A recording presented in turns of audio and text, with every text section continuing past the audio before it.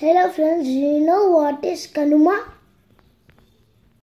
Kanuma is a festival of cattle.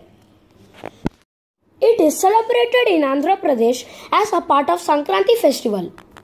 Kanuma falls on the third day of this four day long festival.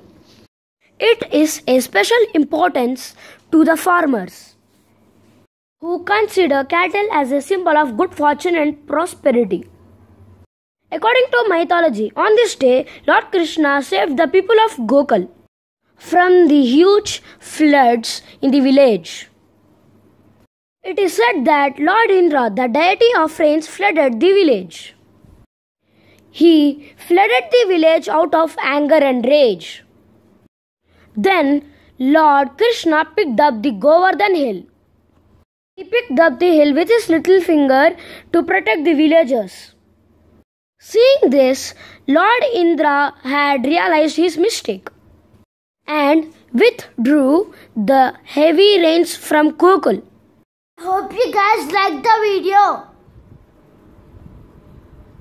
If you are new, please like, subscribe, and ring the bell icon.